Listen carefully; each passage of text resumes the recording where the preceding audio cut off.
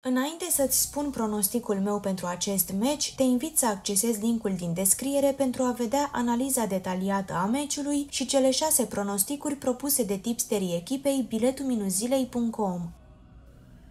Olanda-Argentina la această confruntare mizez pe un spectacol total. Ambele echipe sunt puternice pe faza de atac și au la dispoziție jucători de superclasă, așa că pariul meu merge pe ambele echipe marchează sau peste 2,5 goluri.